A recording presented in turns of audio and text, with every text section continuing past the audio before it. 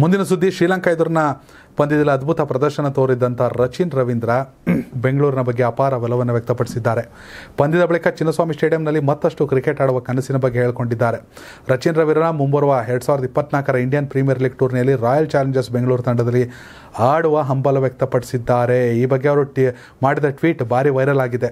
ಎರಡು ಸಾವಿರದ ಇಪ್ಪತ್ತ್ಮೂರರ I C C ಏಕದಿನ ವಿಶ್ವಕಪ್ ಟೂರ್ನಿಯ ಉದ್ಘಾಟನಾ ಪಂದ್ಯದಲ್ಲಿ ಶತಕ ಸಿಡಿಸುವ ಮೂಲಕ ಗಮನ ಸೆಳೆದಿದೆ.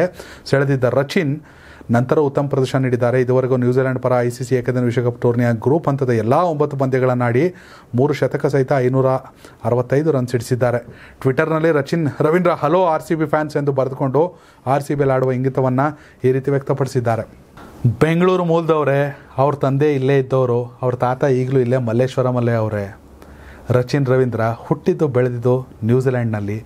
ರಾ ಅಂದರೆ ರಾಹುಲ್ ದ್ರಾವಿಡು, ಚಿನ್ ಅಂದರೆ ಸಚಿನ್ನು ಆ ಎರಡೂ ಹೆಸರನ್ನು ಸೇರಿ ಅವ್ರ ತಂದೆ ಇಟ್ಟಂತಹ ಹೆಸರು ರಚಿನ್ ರವೀಂದ್ರ.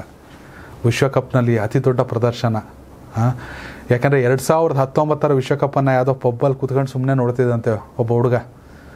ಆದರೆ ಅದ್ರ ಮುಂದಿನ ವಿಶ್ವಕಪ್ನಲ್ಲಿ ನಾನೇ ನ್ಯೂಜಿಲೆಂಡ್ ತಂಡದ ಸ್ಟಾರ್ ಆಲ್ರೌಂಡರ್ ಆಗ್ತೀನಿ ಅಂತ ಅವರು ಅಂದ್ಕೊಂಡಿರಲಿಲ್ಲ ಬಟ್ ಪರಿಶ್ರಮ, ಅದೃಷ್ಟಕ್ಕೆ ಯಶಸ್ಸು ಸಿಗುತ್ತೆ ಪ್ರತಿಫಲ ಅನ್ನೋದಕ್ಕೆ ಇದು ಉದಾಹರಣೆ.